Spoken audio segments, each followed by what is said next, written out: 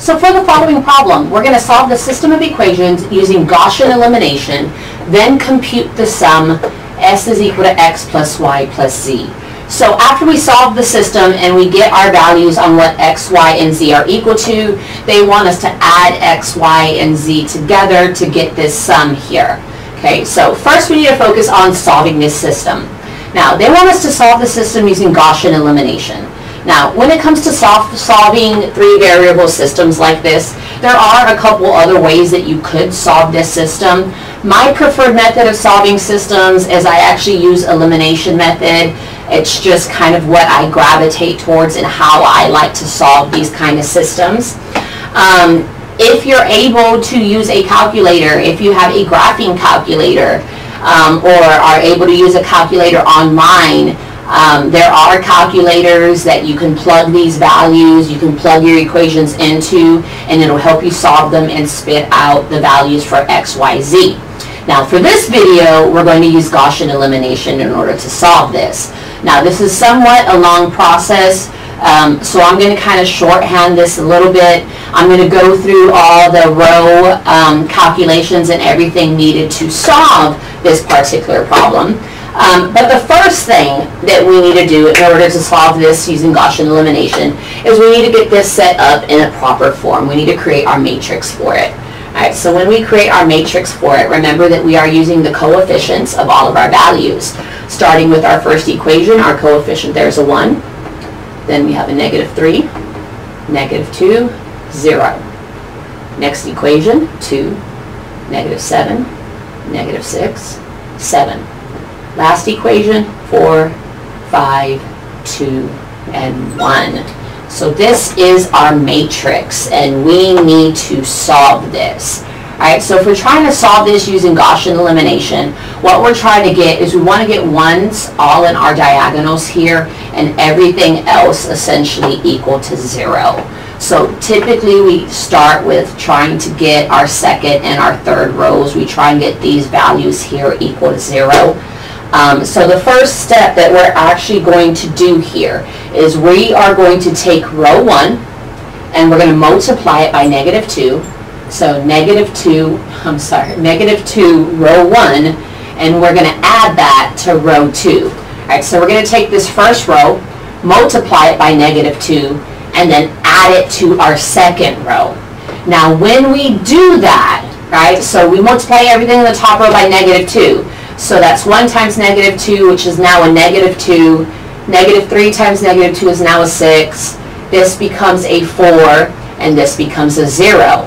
When we take this and add it to this row here, right, let's see what we get. 2 plus negative 2 is 0. Negative 7 plus 6 is a negative 1. Negative 6 plus 4 is a negative 2.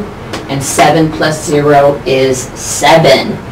Everything else stays the same. 1, negative 3, negative 2, 0, 4, 5, 2, and 1. Okay, so that's our first calculation. All right, got us the 0 here in that spot. Our next calculation that we're going to do is we're going to take row 1 and multiply it by negative 4. And then we're going to add that to row 3. All right, so we're going to take row 1, multiply it by negative 4. So if we do that, 1 times negative 4 is negative 4. Negative 3 times negative 4 is a positive 12. Negative 2 times negative 4 is 8. And 0 times negative 4 is still a 0. So if we take that and add it to row 3, let's see, let's go ahead and put this over here. Uh, so add that to row 3. 4 plus negative 4 is 0. 5 plus 12 is 17. 2 plus 8 is 10. And 1 plus 0 is 1. Everything else will stay the same, the other two rows. So 1, negative 3, negative 2, 0, 0, negative 1, negative 2, 7.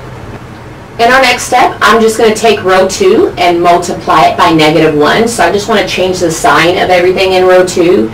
So if I do that, I still get a 0, I get a positive 1, a positive 2, and a negative 7. Everything else will stay the same. And I'm doing that so that my next step, what I'm going to do is I'm going to take row 2 and I'm going to multiply it by 3 and add it to row 1.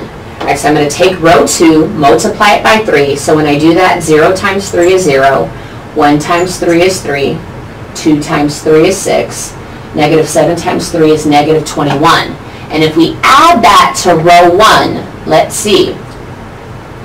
1 plus 0 is 0. Negative 3 plus 3 is 0. Negative 2 plus 6 is 4. And 0 plus negative 21 is negative 21. And then everything else stays the same. 0, 1, 2, negative 7, 0, 17, 10, 1. So then our next step, what we're going to do is we're going to take row 2 and we're going to multiply it by negative 17 and we're going to add that to row 3 and see what we get. So row 2 times negative 17. When we do that, 0 times negative 17 is still 0. 1 times negative 17 is negative 17. 2 times negative 17 is negative 34. And negative 7 times negative 17 is 119. We're going to add this to row 3. So let's see what we get. 0 plus 0 is 0. 17 plus negative 17 is 0. 10 plus negative 34 is negative 24. And 1 plus 119 is 120. Everything else stays the same, so let's just move all of that over. For our next step, we're actually just going to take row 3 and we are going to multiply that by negative 1 over 24. We're trying to get this negative 24 here and turn it into a 1. So when we do that calculation, we end up with a 0, right? So 0 times anything is 0. 0 times anything is 0. Negative 24 times the negative 1 over 24 is a 1 and 120 times the negative 1 over 24 is actually a 5. Everything else stays the same, so let's drop all of that over. We're almost getting there. Our next step, we're going to take row 3 and multiply it by negative 4, and we are going to add that to row 1. And when we do that, we get a 1, 0, 0, negative 1 for our first row, and everything else stays the same. So 0, 0, 1, negative 5 which is going to bring us to our, one of our last steps here. We're going to take row 3 and multiply it by negative 2, and we're going to add that to row 2. Right, so row 3, multiply this by negative 2, and add it to our row 2 here. And when we do that, for our row 2, we end up with a 0, 1, 0, 3. Everything else stays the same. So, this last matrix that we have here. So we need to keep in mind what this represents, right? Our first column is our x values. Our second column is our y. Our third column is our z. And then our last column is what they're equal to. So if we take a look at our first column here, I'm sorry, our first row, we actually have just 1x is equal to negative 1 that actually tells us that x is equal to negative 1. Our second row, we only have a 1 here in the y position, so this here actually represents that y is equal to 3. So we know what y is equal to. And in our third row, we have here a 1, and that's where z is represented. So that tells us that z is equal to negative 5. So these actually are our three solutions for this system of equations. So x is negative 1, y is 3, 0 is equal to negative 5. Going back up to instructions, remember that they wanted us to compute the sum of this. They wanted us to take that s is equal to x plus y plus z. So if we add all of those together, negative 1 plus 3 plus negative 5, negative 1 plus 3 is 2, 2 plus negative 5 is a negative 3. So that is what S is equal to for this particular problem. Otherwise, that's it for this video.